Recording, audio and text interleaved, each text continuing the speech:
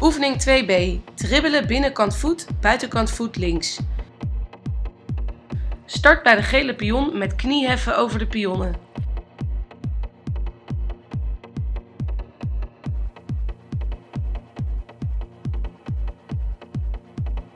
Ga in een dribbelpas naar de eerste rode pion. Dribbel met de bal tussen de pionnen door en gebruik daarbij de binnenkant en de buitenkant van je linkervoet.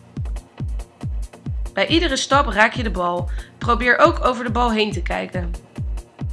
Ga aan het einde linksom.